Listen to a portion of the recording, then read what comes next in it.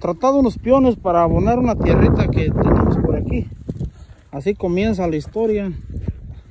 Estos amigos por ahí estaban pidiendo una ayuda ahí en la plaza de Istrán del Río y les dijimos, no, pues si quieren venir a trabajar aquí para el lado de San José de Gracia, pues aquí estamos al lado de San José de Gracia, abonando esta tierrita que se sembró punteada. Quieren sacar para la guajolotera, para subir ahí para arriba de, dicen que son un ranchito llamado Madero. Estos dos piones que, Francisco y Madero, municipio de Jala, Nayarit. oh, por ahí son estos amigos, nomás que aquí en San José de Gracia nunca hemos subido ahí pesos cerros porque no conocemos y aquí nos dedicamos a la agricultura y a la ganadería. Allá anda aquel amigo, también creo el nombre de él es Norberto, alias el Toro.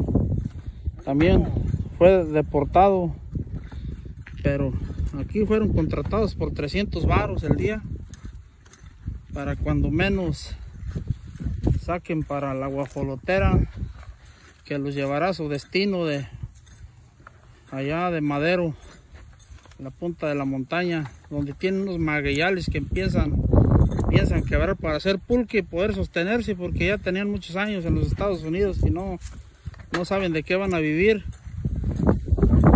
No trajeron más que las garras que traen puestas Y- fue todo y por eso es por eso que ahorita están los señores aquí batallando aquí ganándose estos 300 varos. Hasta eso que son muy trabajadores.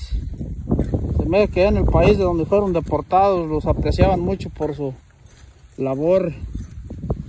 Bueno, vamos a concluir este video porque la tristeza es muy grande para estos amigos y estamos narrando esos asuntos, pues no, no está muy grato eso.